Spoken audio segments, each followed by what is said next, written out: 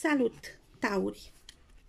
Voi face citirea pentru săptămâna 11 septembrie-17 septembrie, o săptămână în care aveți uh, o lună, avem toți o lună nouă pe 15, pentru voi este o casa fericirii, casa 5 -a. Uh,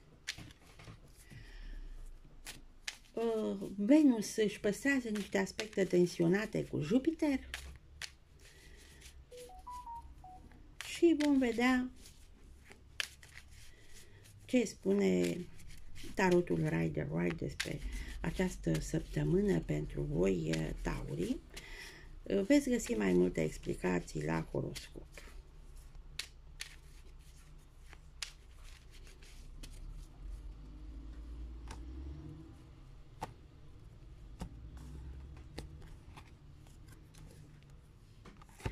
Și iată, chiar un taur.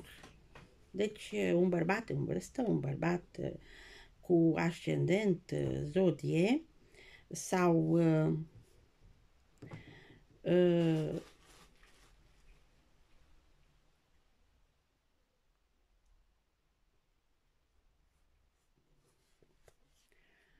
luna, deci ascendent zodie în taur, pentru o femeie ne putem gândi la un bărbat care poate să vă ofere un ajutor pecuniar. Deci, uh, sau și pentru un bărbat tânăr care tot la fel apelați la un ajutor pecuniar. Sau unii chiar apelați la o bancă, fiindcă ăsta, regele de monede, poate să reprezinte și finanțele, băncile. Haideți să vedem voi darnici. Voi sunteți darnici, vreți să fiți generoși, este o arcană care cade pe personalitatea voastră. Voi sunteți cei care oferiți celorlalți, ori oferiți o șansă de afirmare, de a-și arăta posibilitățile la un loc de muncă sau uh, pentru unii s-ar putea să reprezinte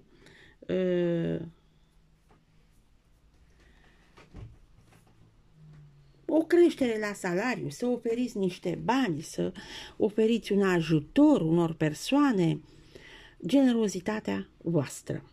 În schimb, fericirea voastră depinde de o regină de cupe. Poate să fie o femeie Uh, o femeie matură, o femeie peste 50 de ani, care își arată sensi- sensibilitatea ei, sentimentele, romantismul, uh, preocuparea ei față de trecut, de arborele ei genealogic, de părinți, de uh, a, uh, antichități. Deci, uh, preocupată de natură, de călătorii, dar în uh,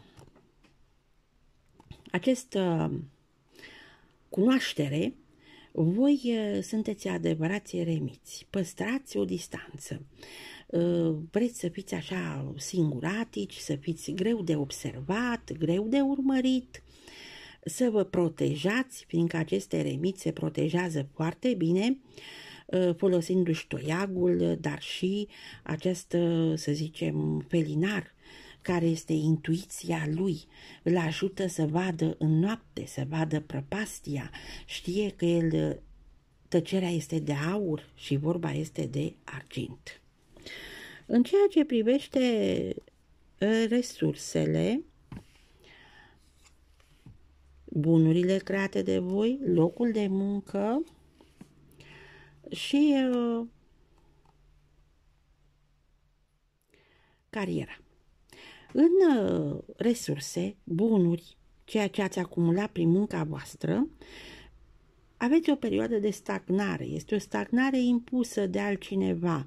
Și voi vreți să ieșiți din această stagnare și sunteți capabili să aduceți rațiunea, sunteți capabili să puneți mâna pe spadă și să impuneți, să vă impuneți voința voastră, dar și ă, sunteți capabili să vă faceți dreptate, fiindcă spada este identică cu balanța cu spada, unde vorbim de dreptate, de adevăr, de spala divină care poate să îi pedepsească pe cei incorrecți, să-i ajute pe cei drepți.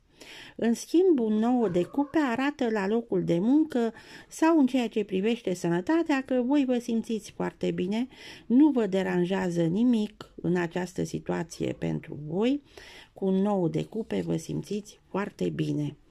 În schimb, un opt de spade în carieră am zice că legat de o reușită socială sau de cariera voastră, apare această veste. Este o veste care vă dă ca o stare de captivitate, nu găsiți niște soluții, uh, vă deranjează acest lucru, dar este un blocaj mental, de fapt. Nu este un blocaj, o stagnare chiar impusă. Este un blocaj de care, eu știu, din punct de vedere uh, emoțional, trebuie să scăpați pentru a putea găsi aceste soluții. Deci trebuie cumva să scăpați de aceste emoții profunde legate de această veste.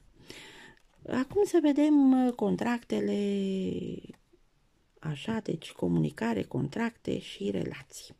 În comunicarea voastră cu frați, surori, veri, vecini, aveți o atitudine, vreți să studiați forțele care intră în joc, condițiile, emoțiile, secretele, vreți să cunoașteți totul și să le echilibrați astfel încât să puteți să vă aduceți în puterea voastră persoana pe care o doriți sau să ajungeți acolo unde vă doriți.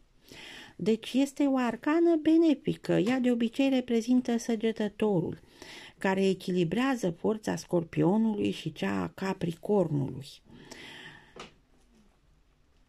În ceea ce privește un contract, o asociere, voi nu faceți nicio alegere, sunteți în așteptare și așteptați să se întâmple ceva, să aibă loc un eveniment, acest dui de spade. În ceea ce privește, deci este un moment de stagnare legat de un contract, o asociere, un proces nu veți putea să faceți nimic să, decât să așteptați. În ceea ce privește relațiile cu prietenii, aveți aici soarele, soarele care arată fericirea.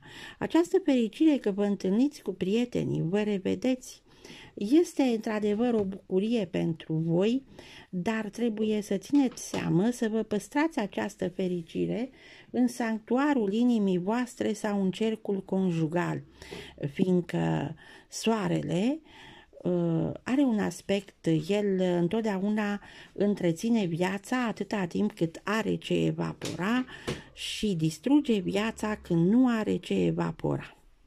Acum să vedem mai departe familia, căminul, schimbarea, transformarea și uh, sacrificiul.